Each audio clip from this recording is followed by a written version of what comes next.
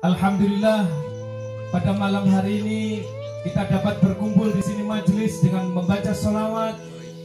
Kita menghatamkan salawat kitab Dia Ulami Al Habib Umar bin Hafiz.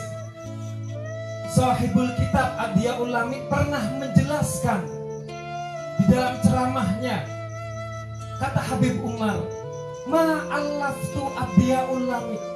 Aku tidak akan mengarang kitab dia ulami ini illa bi amrin Nabi Syafi kecuali atas perintah Nabi besar Muhammad Sallallahu Alaihi Wasallam. Nah, oleh karena itu amalkan yaitu dalam keseharian kita bersolawat kepada baginda Nabi besar Muhammad Sallallahu Alaihi Wasallam. Karena Rasulullah Sallallahu Alaihi Wasallam bersabda, "Man Salah alaiya solatan wahidatan Barang siapa yang bersolawat kepadaku satu kali saja Sallallahu asru salawatin Allah berikan sepuluh rahmat kepada kita.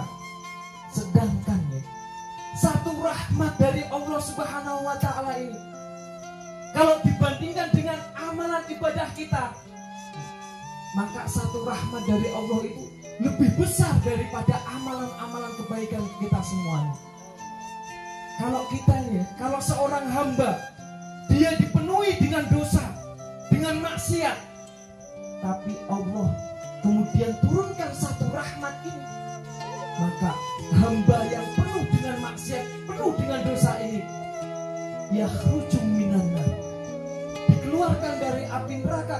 Wa yadkhulunal jannah. Dan dimasukkan ke surga Allah Subhanahu wa taala yaitu dengan sebab rahmat dari Allah Subhanahu wa taala.